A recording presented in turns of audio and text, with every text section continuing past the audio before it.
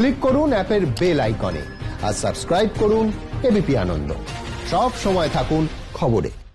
একটি বধূ নির্যাতন মামলায় সিপিকে তলব, পরে প্রত্যাহার। জানব আমাদের প্রতিনিধি সৌভিক মজুমদারের সঙ্গে টেলিফোনে কথা বলে। সৌভিক, ঠিক কি হয়েছে?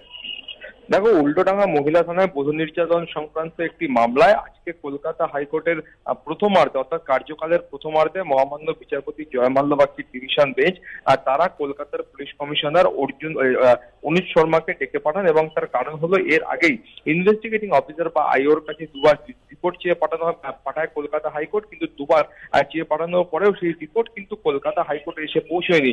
অতএব তার কারণেই কিন্তু কলকাতার পুলিশ কমিশনারকে ডেকে পাঠান বিচারপতি জয়মাল্য বাগচি। কিন্তু তারপরে দ্বিতীয়ার্ধে কলকাতা হাইকোর্টের সরকার পক্ষ সরকারি আইনজীবীরা যারা বর্ষিয়ার আইনজীবী আছেন বর্ষিয়ার আইনজীবীরা গিয়ে আবারও বিচারপতি বাগচিকে অনুরোধ করেন যে যে তদন্তকারী অফিসার আছেন, তিনি সবেমাত্র পদোন্নতি পেয়ে এই জায়গায় এসছেন। ফলত কলকাতা হাইকোর্টের এই যে নির্দেশ, এই নির্দেশের গুরুত্ব কি বা এই রিপোর্ট কীভাবে লিখতে হয়, সেই সম্পর্কে তিনি অবগত নয়, অতএব তাকে এইবারের মতো ছেড়ে দেওয়া হোক।